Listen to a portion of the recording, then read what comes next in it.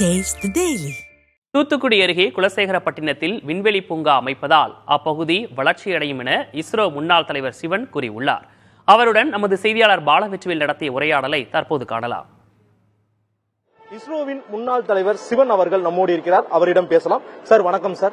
ஆஹ், இந்தியாவில் இரண்டாவது ராக்கெட் ஏவுதளம் தமிழ்நாட்டில் குலசேகரப்பட்டினத்தில் அமைக்கணும்னு ஒரு நீண்ட கனவு இருந்தது. ஒரு விண்வெளி பூங்கா தொடர்பான அறிவிப்பும் வந்திருக்கு. இஸ்ரோவின் முன்னாள் தலைவராக நீங்க எப்படி பாக்குறீங்க? தமிழ்நாட்டோட வளர்ச்சிக்கு அது எவ்வளவு முக்கியம் சார்? இந்த இது அந்த குலசேகரப்பட்டினத்தில் வந்து விண்வெளி பூங்கா வரும்போது வந்து நிறைய இண்டஸ்ட்ரியல் இண்டஸ்ட்ரீஸ் வந்து ஜாயின் பண்ணி அதில் இது ஒர்க் பண்ணுறதுக்கு நல்ல சான்ஸ் இருக்குது. அதனால் வந்து தட் இஸ் மக்களுக்கு வந்து நிறைய வேலை வாய்ப்புகளுக்கு வந்து நிறைய திட்டமும் உபயோகமும். அதே மாதிரி வந்து அந்த ஏரியாவே நல்ல நியூவாக டெவலப் ஆகும். சந்திரயான் நான்கு திட்டம் வந்து எப்படி செயல்படுத்த போறோம் சார்? சந்திரயான் ஒன்று இரண்டுல உங்களோட பங்களிப்பு ரொம்ப அதிகம்.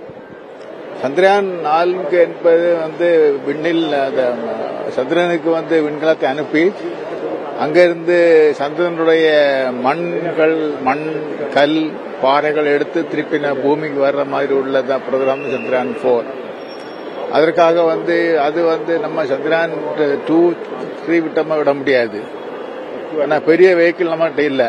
அதனால வந்து ரெண்டு லாஞ்சஸ் விடுவாங்க.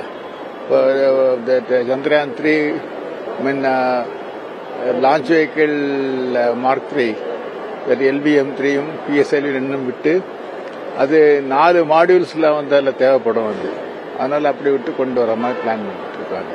வருங்கால இஸ்ரோ திட்டங்கள் எப்படி இருக்கும் சார் அவங்களோட தொலைநோக்கு பார்வை எதை நோக்கி போயிட்டு இருக்கு சார் வருங்கால திட்டம் வந்து தட் இஸ் இப்போ வந்து நமக்கு வந்து தட் ரொம்ப தொலைநோக்கு திட்டம்னு சொல்லி சொன்னாக்க வந்து ரெண்டாயிரத்தி முப்பத்தி அஞ்சில் வந்து பாரதிய அந்தரிக்ஷ ஸ்டேஷன் அதாவது இந்தியன் ஸ்பேஸ் ஸ்டேஷன் அது பிளான் பண்ணிட்டு இருக்காங்க வந்து தட் இஸ் uh, ரெண்டாயிரத்தி முப்பத்தி அஞ்சில் வந்து.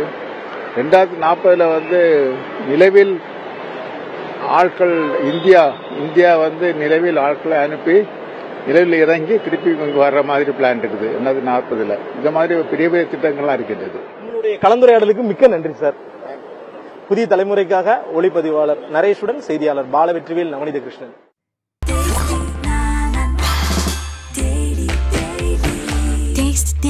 Taste the Daily.